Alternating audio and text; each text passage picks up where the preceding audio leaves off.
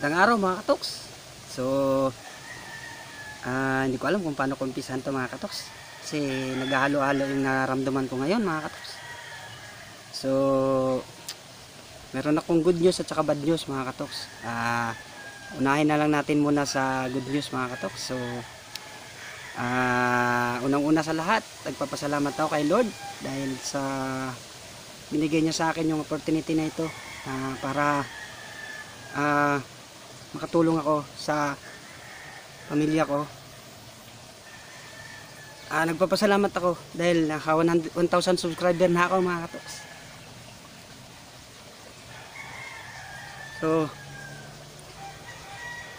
ito ginagawa ko para sa ah, pamilya ko mga katoks. So, ayoko nang madrama mga katoks. Eh, mahirap eh gusto ko lang sana maging masaya palagi. Mahirap ipakita na ng pagdadrama natin mga kapatid.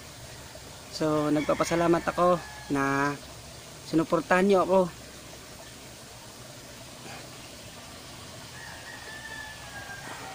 So ayan imbis na imbis na maging ah, good news yung ano ko mga katoks nakapagdrama tayo mga katoks pero maraming maraming salamat mga katoks sa suporta sa mga nag-subscribe sa akin. Maraming maraming salamat sa inyo.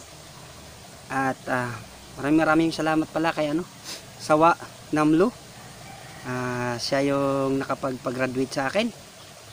Nine, ah, 999 ako tapos siya yung nag ah, subscribe sa akin kaya naging 1,000 ako mga katoks 1,000 subscriber. Maraming maraming salamat sa inyo mga katoks. At maraming maraming salamat din pala kay ah, Sir Sai, Cyrus Magyaya na ginawa niya ako ng YouTube account mga katoks. Tapos maraming maraming salamat din kay April Joy Nunyala dahil siya yung unang-una nag-edit ng mga video ko mga katoks. So yan, maraming maraming salamat sa inyo. So shout out pala kay ano, ah, BJ Hagunos Op. Siya ay vlogger din mga katoks. So suportahan niyo mga katoks. Ka- magaling, magaling kumanta yan mga katoks. So ayan, maraming maraming salamat. At maraming maraming salamat din sa Kapyo Family dahil sa suporta sa panonood ng video ko. Maraming maraming salamat sa inyo. At sa mga katrabaho ko rin na nag-subscribe sa akin, maraming maraming salamat sa inyo. So, ah, sunod na mga video natin, ah, hindi ko man may papangako pero gagandahin na natin. Maraming maraming salamat sa inyo. At ah, doon naman tayo ngayon sa ah, bad news mga katoks. So, ang isa nating ah, tikling mga katoks ay namatay mga katoks.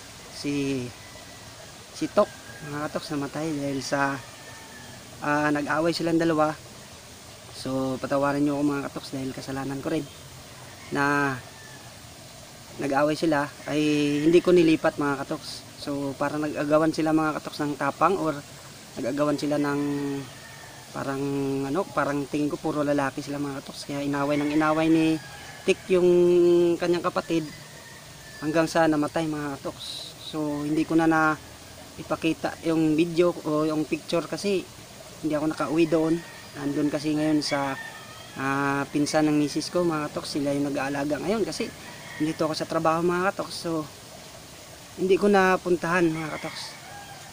Ah, So hindi ko nilipat mga katoks kasi ang nasa isip ko mga katoks magbabati pa sila mga katoks kasi dati nag-away sila mga katoks. Ah, pero hindi ko nilipat yung isa, nagbati pa rin sila mga katoks hanggang sa nag-abot sila ng 5 months na magkasama. So yun lang yung mga time na nag-aaway na sila mga katoks yung pag-update ko, nag-aaway na yun sila eh. Hindi ko pa rin nilipat mga katoks dahil ang nasa isip ko magbabati pa rin sila. So talagang hindi tinigilan ng isa na talagang napatay, pinatay niya talaga yung kanyang kapatid. So wala na akong magagawa doon mga katoks, yun ay ah, talagang gusto nila or ah, ganun talaga yung mga behavior nila mga katoks.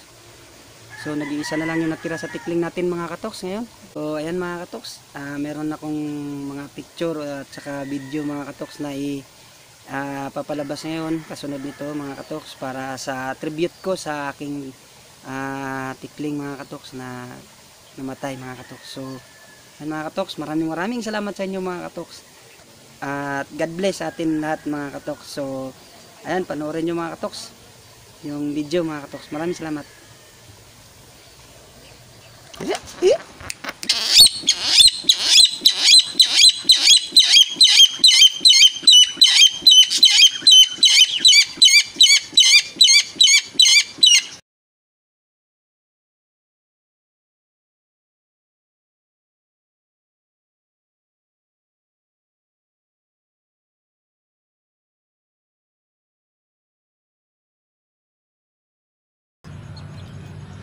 Ah, maliit na. Ganda ng kaliskis, itim na itim eh. oh. Ah, tama na yan. Tama na yung video.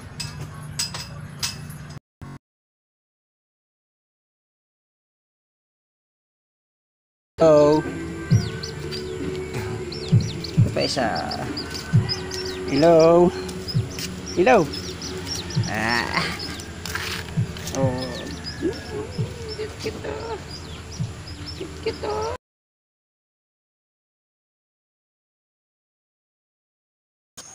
Yan. Yan. Tag-isa sila. oh. Hmm? Hmm. Ganyan sila kumain mga katoks. So, yung merienda nila. Sarap na sarap sila. Kaya mga katoks kapag ka inano mo ng kamay mo sila, parang tinakagat yung kamay natin kasi akala nila pagkain mga katoks. Yan, tingnan mo nakakatuwa silang kumain mga katoks. Yan. Yan.